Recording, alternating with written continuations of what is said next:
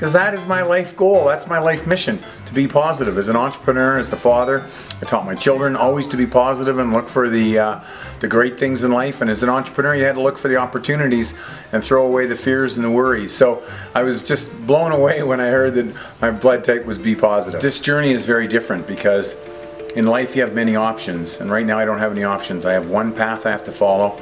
Got to follow all of the advice from these doctors. I got to push forward. It's one day at a time. It's not a lot of planning, so it's really slowed me down. I've had to turn to being very spiritual and just pushing forward very positively one day at a time, getting stronger and stronger. I have to just rely on little tiny pleasure. Walking around my yard without my oxygen. Out for my little daily walk in my backyard. I got some fruit on my trees now. It's supposed to be a lemon tree, but we haven't seen lemons on it for a couple years. But we do have ruby grapefruits. They don't look so ripe yet, but they're coming. Here's another one.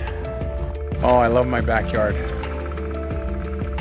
It's like a little oasis. It's really relaxing. Place to zen out and really enjoy and recover and heal. Little, little victories, little pleasures, they all add up.